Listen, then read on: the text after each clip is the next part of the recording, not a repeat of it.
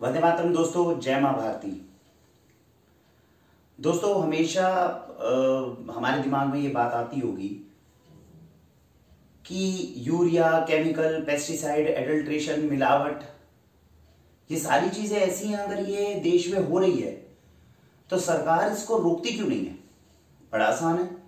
कड़े नियम बना दे और जो उन कड़े नियमों का उल्लंघन करे उसको जेल में डाल दे तो मिलावट अपने आप रुक जाएगी। आज की इस वीडियो में हम जानेंगे कि जितना सरल ये कहने में लगता है, उतना सरल ये होता नहीं। आज की इस वीडियो में हम जानेंगे क्यों सरकार आपको जहर खिलाने पर मजबूर है।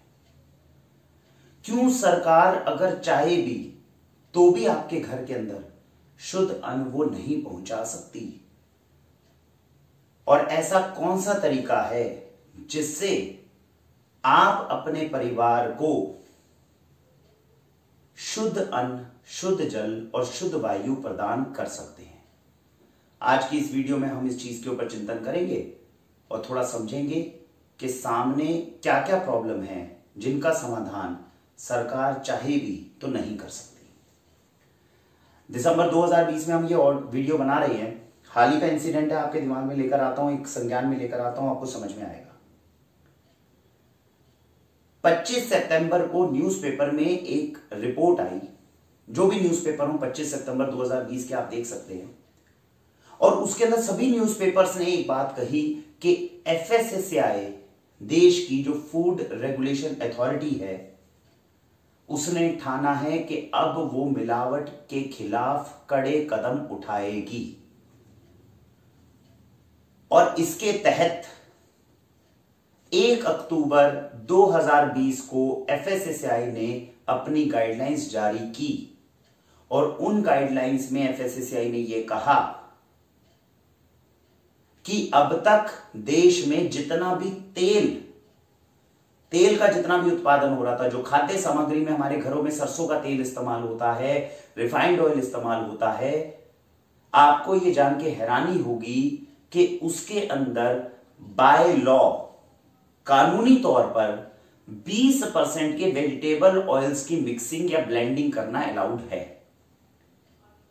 यह हमारे कानूनों में कहने का अर्थ क्या है कि सरसों का बीज मैं रखूँगा, प्रेस करूँगा, जो तेल निकलेगा, वैसे तो ये तेल शुद्ध नहीं आता हमारे पास। इसके लिए नीचे डिस्क्रिप्शन में वीडियो लिंक होगा, या यूट्यूब पे जाके सीधा टाइप करिए बाक्षी रिफाइंड ऑयल तो आपको तेल की सच्चाई पता चल जाएगी, जो तेल आपके घर में इस वक्त आ रहा है। फिर भी मान लो, जो भी वो तेल आ रहा है, उसके अंदर कानूनी तौर पर लीगल है कि उस तेल के अंदर 20 प्रतिशत तक पाम ऑयल को मिक्स किया जा सकता है। ये पिछले 40-50 सालों से जब से रिफाइंड ऑयल हमारे घरों में आ रहे हैं, तब से सरकार के द्वारा प्रमाणित था। अब सरकार के पास में रिपोर्ट्स तो आती हैं, और उनको यह भी पता है कि जो पाम ऑयल है, वो शरीर के लिए हानिकारक है, नुकसानदायक है, अच्छी चीज़ नहीं है। तो सरकार ने और एफएसएसआई ने यह सोचा कि भैया 30-40 साल में जो हुआ, सो हुआ। अब हम ये मिक्सिंग को रोकेंगे। पाम ऑयल की एडल्ट्रेशन पाम ऑयल की जो मिक्सिंग और ब्लेंडिंग है, ये हमारे तेलों के अंदर सही नहीं है। तो 1 अक्टूबर 2020 को एफएससीआई ने गाइडलाइन पास करी कि अब से देश में जितना तेल का उत्पादन हो रहा है, उसमें किसी भी तरह के किसी दूसरे वेजिटेबल ऑयल की ब्लेंडिंग नहीं की जाएगी। तो सरकार और एफएससीआई ने आपकी सेहत का ध्यान रखते हुए एक बहुत उमदा और बढ़िया कदम उन्होंने उठाया। शुद्ध तेल देना चाहते हैं और खिलाना चाहते हैं आपको, यही आप भी चाहते हैं कि हमें शुद्ध तेल मिल जाए। डेढ़ महीने के अंदर अंदर दो कार्रवाइयाँ हुई। सरकार के खिलाफ, एफएससीआई के खिलाफ।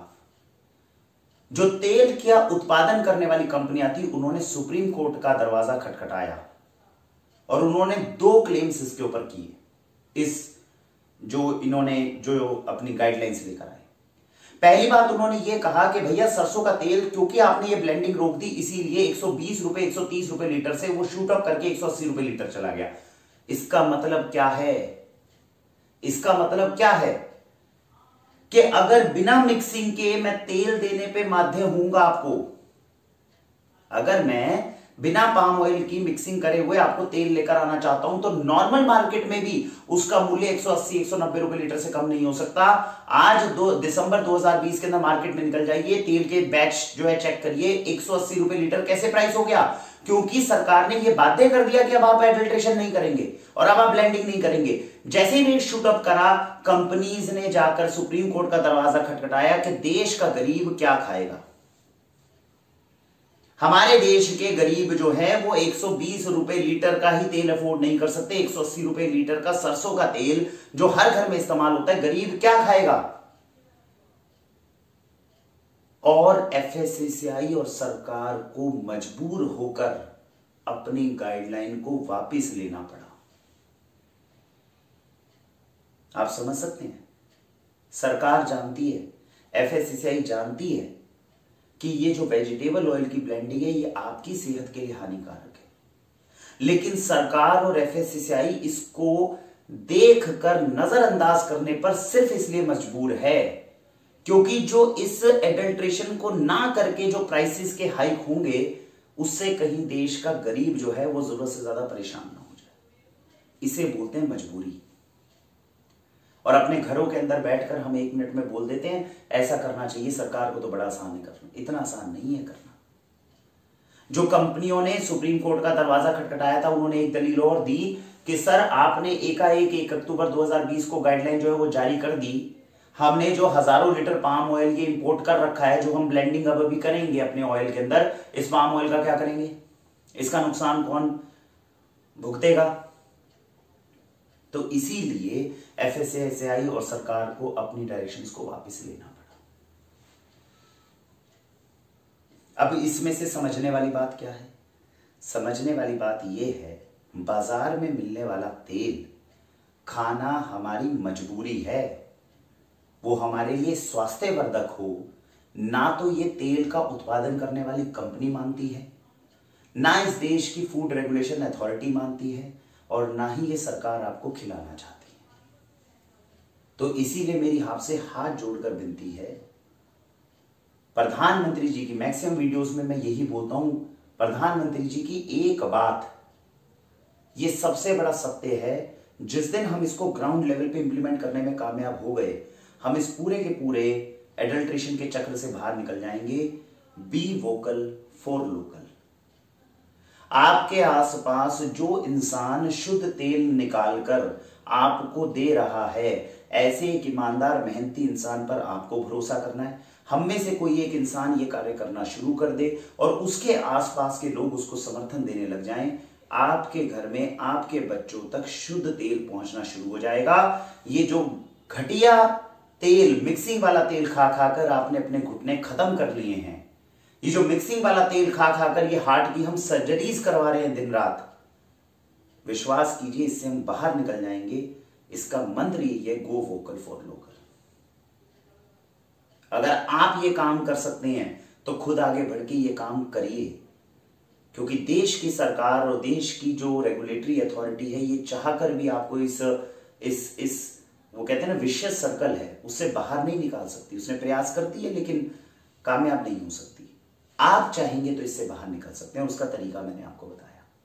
सिंपल तरीका है, इस ऑडियो को देखने वाले अगर आप हैं और आपको लगता है कि आप तेल का कारोबार कर सकते हैं, आपको सिर्फ़ ये कहना है, मैंने ये तेल का बीज रखा इसको प्रेस करा, जो तेल निकला ये मैं आपको दे रहा हूँ, इसका मूल्य मार्केट से थोड़ा ज़्यादा है, लेकिन ये शुद्ध है।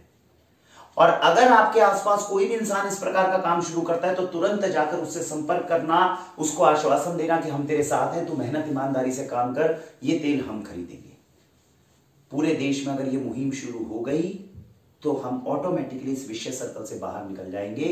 Go vocal for local be vocal for local ये मंत्र है जिससे आप इस विषय सर्कल से बाहर निकल सकते दूसरा भी कई बार दिमाग में प्रश्न आता होगा, अब तो हमारे बेनिफिशियरीज नहीं पूछते, लेकिन पहले भी बहुत पूछते थे। यूरिया केमिकल पेस्टिसाइड इतना खेतों के अंदर डल रहा है।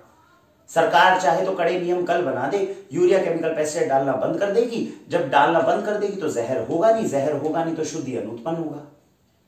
अपने ड्राइंग रूम में बैठकर यह कहना बहुत आसान है।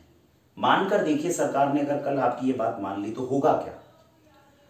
यूरिया केमिकल पेस्टिसाइड जिस दिन आपने बैन कर दिया, उस दिन हमारे खेतों के अंदर उगने वाली फ़सल तकरीबन 60 परसेंट तक रिड्यूस हो जाएगी।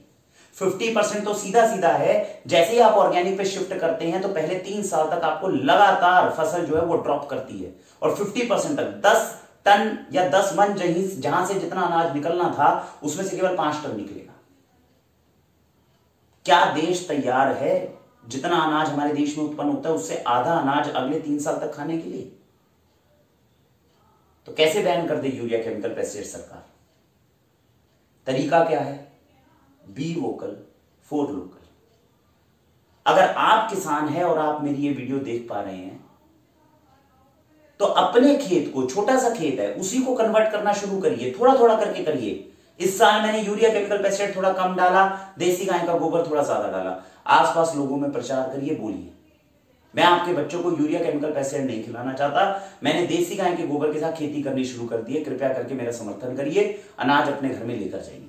और अगर आप उपभोक्ता हैं तो मार्केट की यूरिया केमिकल पेस्टिसाइड के अनाज के बजाय पहले उस किसान को समर्थन दीजिए जो आपके आसपास ये शुद्ध अन्न उगा रहा है। मंत्र एक ही है बी वोकल फॉर लोकल अपने आसपास अगर करेंगे, पूरी पारदर्शिता से हर चीज़ को देख पाएँगे, नाप पाएँगे, उसका जायजा कर पाएँगे, सही मूल्य, सही किसान को, सही प्रोडक्शन करने वाले को कम से कम बिना बिचौलिए के हमारे पास में रिसीव होगा। और जो इंसान इसको कर लेगा, वो अपने घर में ऑर्गेनिक ले आएगा। जो इंसान इसको नहीं कर पाएगा, वो कभी भी अपने बच्चों को सुरक्षित अन्न नहीं खिला पाएगा।